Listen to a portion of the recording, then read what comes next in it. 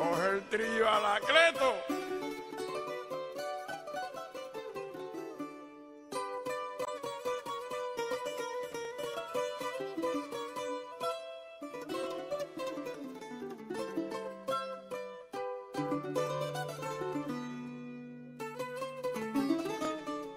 Kuba, lika exotiskt, lika härligt som det låter.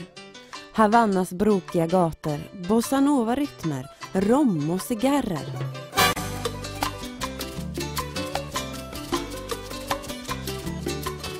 Och så ett fantastiskt fiske.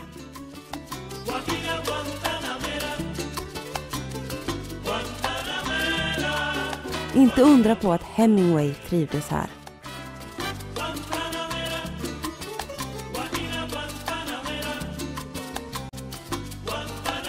Ja, Hemingway är nog faktiskt den enda författaren som får stå på kubanska bokhyllor. Förutom revolutionslitteratur om Che Guevara och Fidel förstås.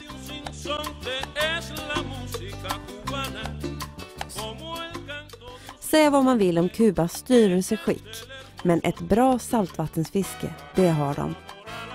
Regeringen har nämligen förbjudit kommersiellt fiske över stora kustområden, vilket innebär att det finns mycket fisk och stor fisk ämnad för just sportfiske.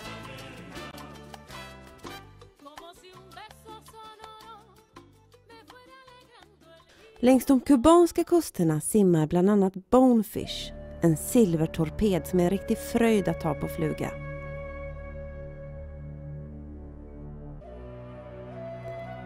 Bonefish finns i de flesta tropiska vatten där tidvattnet har stort inflytande.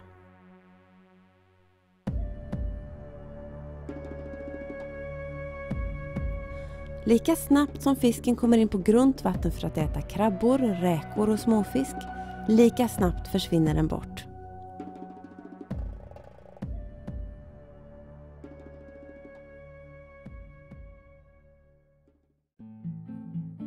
Man fiskar ofta bonefish med fluga, antingen ståendes i fören på en platt båt, en så kallad skiff,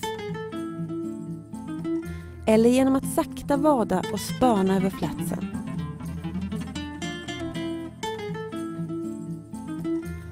Oavsett hur du fiskar gäller det att ständigt vara redo.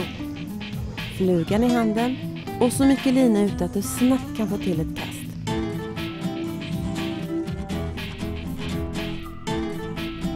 För plötsligt är fisken framför dig.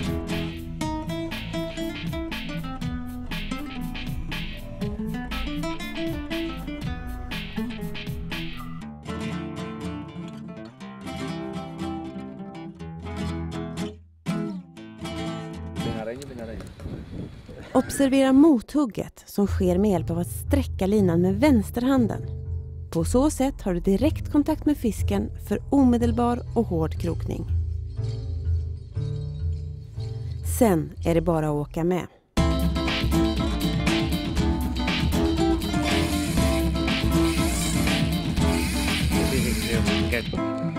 It's so strange. Huh? We catch four, five times and nothing.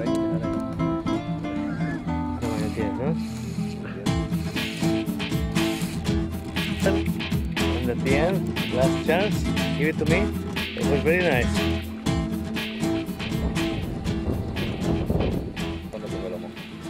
Nada, no hizo nada. I catch four times and nothing, nothing, nothing. Last time, oof. Wow. Seven Marcos. And it's a battle between you and him. I say I like single fish, like this one. It's coming to you, and you must make a good cast, good presentation, good fly, and take it. I love bonefish. Easy. You're fishing in a paradise.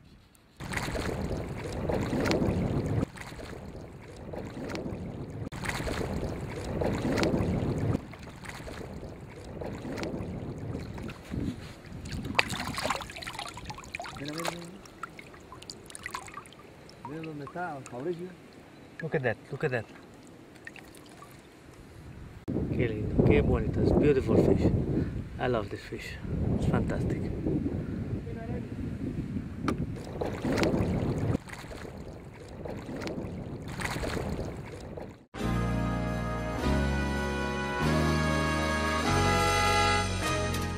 Att skydda sig mot sol och uttorkning är nummer ett ute på flats. Bra polariserande solglasögon måste man nästan ha för att kunna se fisken. Alltid något på huvudet och långärmad skjorta.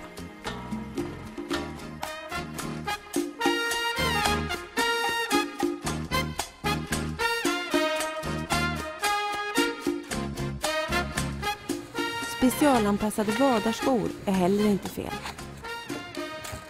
Och resten av utrustningen, ja det bästa är att låna av fiskekampen eller att köpa från någon som verkligen kan saltvattensflugfiske. Och glöm inte, när det gäller bonfish är det viktigare att kasta precis än att kasta långt. Inte sällan är fiskarna alldeles framför fötterna på dig.